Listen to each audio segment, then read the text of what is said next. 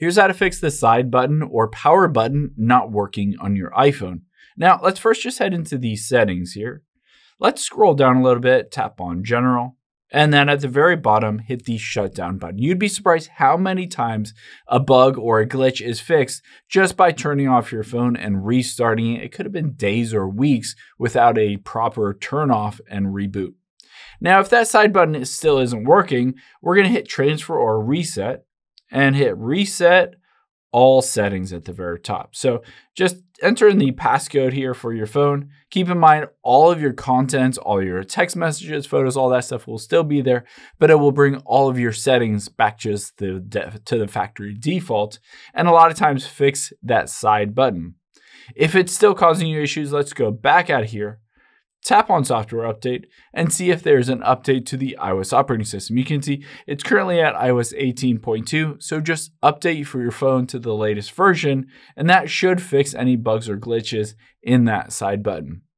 Now, the next thing I would recommend doing is seeing if there's a physical obstruction in that button itself. So take off the case if you have an iPhone case and just kind of clean around the area. Maybe get a little toothpick, maybe clean around the area to make sure that it is nice and clean so that it can be working and it's not the case that's causing the issue.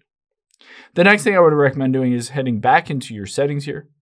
Let's go back here, tap on accessibility, and then we'll tap on touch and at the very top, choose Assistive Touch. You can turn on Assistive Touch here and you can see it creates this little menu. I can tap on it and it gives me a bunch of different options here that I can control. I can hit Customize Top Level Menu and hit plus here.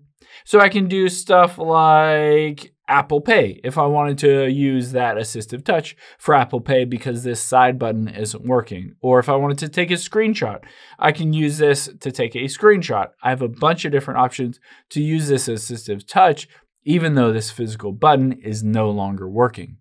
Now, the last thing I would recommend doing is if it really bothers you and all of these steps don't get it fixed, just take it into an Apple store. They'll plug it in, run some diagnostics to see what the issue is with that side or power button. They might need to physically replace it or replace your iPhone, or maybe just fixing the software or reinstalling the iOS operating system will get it all fixed. I hope this helps. If it did, hit the subscribe button down below and leave a comment if you still have any questions. Thanks.